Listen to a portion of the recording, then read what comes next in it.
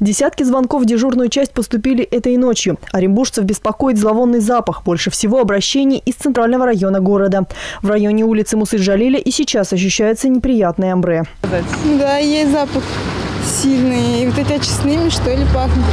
И газом. Ну, я ничего не, не делаю. Что сделаешь, если запах исчезнет? Ничего на улице. Особенно у меня дети маленькие, поэтому очень чувствительные. Мы только утром почти их не выводим, только, наверное, ближе к обеду он пропадает. Ну, жена куда-то жаловалась, не знаю точно, но жаловалась. Потому что сильно, особенно окна нельзя открыть совсем.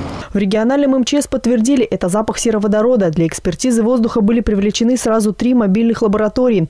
Все показали превышение предельно допустимых норм. Зафиксировали превышение ПДК в ночное время. Вблизи очистных сооружений практически в 25 раз было превышение. А, ну, чем дальше от очистных сооружений на территории ну, до 7 и 7,9 превышения были такие. Специалисты продолжают мониторить ситуацию. Днем вредные вещества превысили допустимые нормы на 6 единиц. Одной из причин называют безветренную и жаркую погоду. Аварийных ситуаций на очистных сооружениях не было. Об этом говорят и специалисты Оренбург-водоканала. Хотя на предприятии отрицают превышение сероводорода. Мы брали в четверг, в пятницу, в субботу. А в субботу, воскресенье в ночь, как бы мы знаем точно, у нас результаты как бы лаборатория подготовила, дала. У нас э, было все в норме.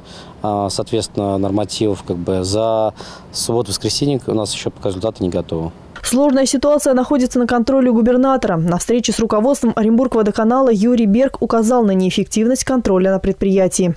Вы отвечаете за все, что происходит на предприятии. Новые факты превышения ПДК сероводорода, источником которого являются очистные сооружения, говорят о недостаточности принимаемых мер. Специалисты напоминают, что сероводород – тяжелый газ, овраги, подвалы, погреба – места скопления вещества. При возникновении чрезвычайной ситуации закрыть окна и двери по возможности не выходить на улицу.